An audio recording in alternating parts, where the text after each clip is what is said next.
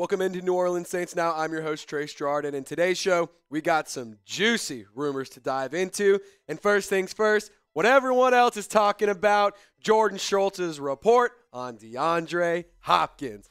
Now, he tweeted out sources are saying the Arizona Cardinals plan to trade all pro wide receiver DeAndre Hopkins this offseason. D Hop has two years and $34.36 million left on his contract and will likely seek a new deal. Owner Michael Bidwill plans to express this GM to or two GM candidates, and then he proceeded with the story. So let's break it down. Is D Hop on the move? Cardinals are planning on trading him this offseason. He has only played in 19 games over the last two seasons, and he missed six games this year due to that PED suspension. And if we all remember, DeAndre Hopkins, the former Clemson Tiger, former Houston Texan, absolutely baller, an absolute baller, and an absolute unit. And DeAndre Hopkins, I brought this picture up because how could you forget it? He's a special talent. This guy right here, he just he goes and gets the ball. He's a damn good wide receiver. He's a damn good player, and he's a dominant NFL player. And in his career stats over the last 10 seasons, 853 receptions, almost 12,000 yards, 77.9 yards per game, and 71 touchdowns. And if you take a look at his career, 2013 to 2019, he spent some time with the Houston Texans. And then, of course, we all remember that horrendously awful trade of David Johnson, I believe a second round pick from the Cardinals to the Texans in a trade for DeAndre Hopkins. None of us knew what was going on. It's an absolute joke. But since then, he's been with the Arizona Cardinals. He's a five time Pro Bowler, three time first team All Pro. 2017, he was the receiving touchdowns leader.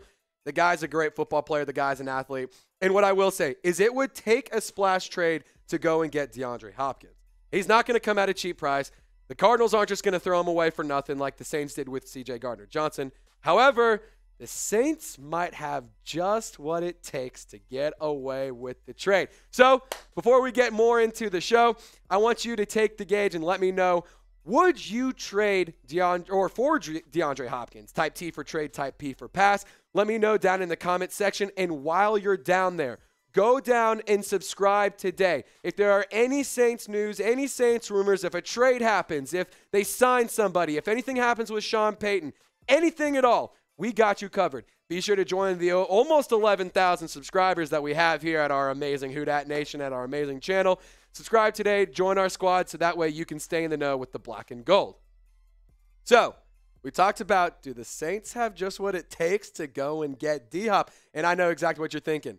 Trace, you can't trade a player for a, for a coach. We'll get into that in a second. I'll answer that in a minute. But Sean Payton is currently a favorite to be the next head coach for the Arizona Cardinals. And just minutes ago, Tom Pelissero putting this out. Mentioned in a story with Ian Rapoport last weekend on looming changes with the Cardinals that Sean Payton had been doing homework on the Arizona job. He's a Kyler Murray fan, who, by the way, let's not forget, I got a pick six off of in high school flag football. No big deal. I should probably go get signed by the Saints. Anyway, he's a Kyler Murray fan, and with no general manager in place, it'd be an opportunity to set up the whole operation. And Sean Payton, also from Ian Rapoport, just got approved for an interview by the Saints in Arizona. That's happening. It's going to happen. I know there's been some reports of Sean Payton wants to go somewhere where there's a strong, you know, trio of the front office players, management, owners, all of that. He wants a strong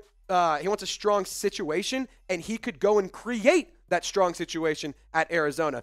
And and if you take a look at the DraftKings head coach's odds, you can see Sean Payton plus 200, Shane Steichen plus 750.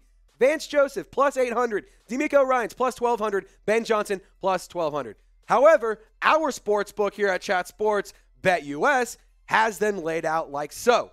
Vance Joseph, an internal candidate, plus 200. Sean Payton, plus 300. Ben Johnson, plus 300. Byron Leftwich, Leftwich, excuse me, plus 250. And Mike Kafka, plus 400. Kind of crazy odds, kind of a crazy situation. And if you want to go bet on Sean Payton's next uh, next job or the Arizona Cardinals' next head coach, you can go down and get started at chatsports.com slash bet. Use promo code chat125. They got all sorts of great deals. They got all sorts of fun at things that you can bet on. College football, it's over, but you got playoff football, you got the NBA, the NHL, all sorts of fun things. Go get started. Chatsports.com slash bet. Use promo code CHAT125 for 125 deposit bonus. You lay down $100, they give you 125 You have 225 to game with. Hey, go make yourself some money and go get started. Chatsports.com slash bet. Use promo code CHAT125. All right, and so here's what Sean Payton had to say on his relationship with the Bidwill family, who's associated with the Arizona Cardinals. I was a ball boy for this team. And so the early years there in 83, 84, and 85, it was head coach Jim Hanifan that, and then it became Gene Stallings. You know, we'd clean the rooms, bring towels to the rooms. We had a summer job. Neil Lomax had just taken over for Jim Hart at quarterback. Mr. Bidwill Sr. was the owner at the time, and I think I know that family well enough. And I want y'all to take a look at this picture. When Michael Bidwill was asked about Sean Payton in a recent uh, press conference, this was his face. It, it, that's the face of somebody. It's I, I know something. I can't really say it, but I, I, I know that there's something out there, and I'm too. It's too exciting to contain the emotion and contain the smile.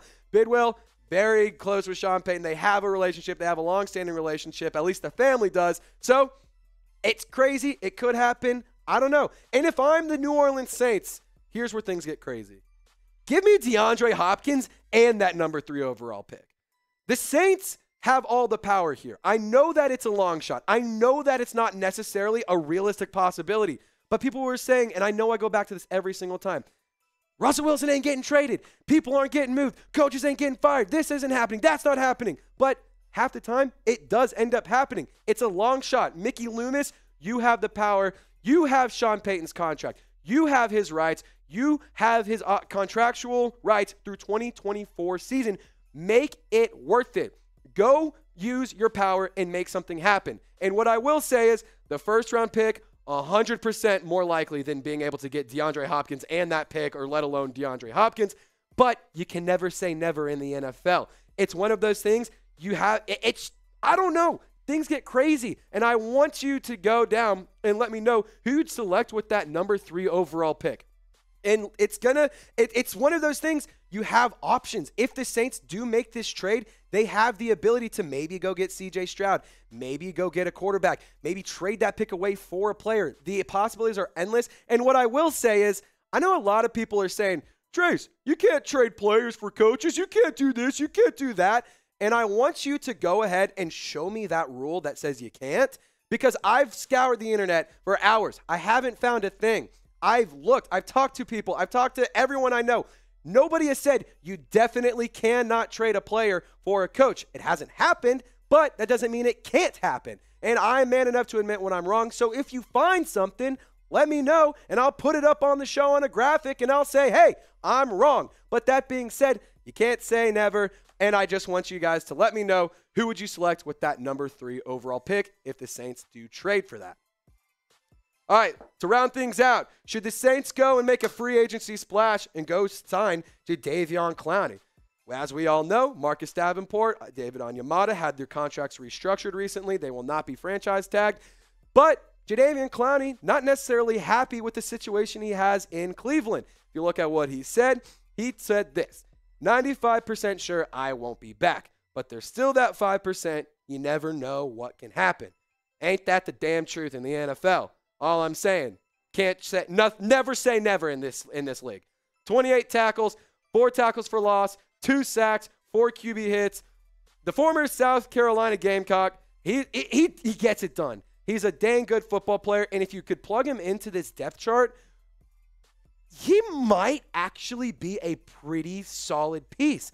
I would much rather roll with Marcus da- or with uh, I'd much rather work or run with Jadeveon Clowney over Marcus Davenport or Peyton Turner. Guys like that are hurt. They're inconsistent. Cameron Jordan, still a baller. Carl Granderson, shout out to that guy. He's stepped up in a big way this year.